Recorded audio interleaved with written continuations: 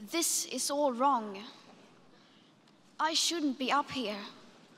I should be back in school on the other side of the ocean. Yet you all come to us young people for hope. How dare you? You have stolen my dreams and my childhood with your empty words, and yet I'm one of the lucky ones.